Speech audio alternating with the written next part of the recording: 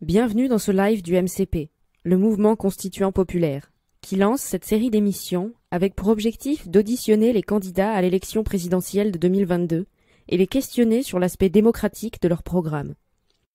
Pour bénéficier de l'opportunité unique de la fenêtre médiatique de cette campagne, les groupes locaux du maillage territorial du MCP seront invités à choisir la manière dont ils souhaitent en profiter.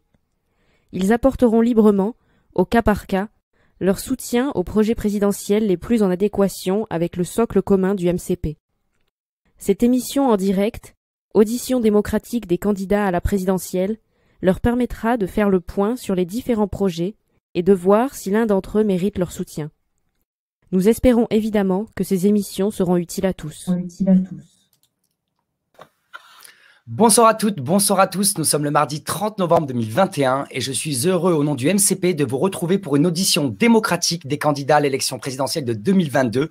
Et pour cette sixième audition, nous avons la chance d'accueillir Alexandre Langlois.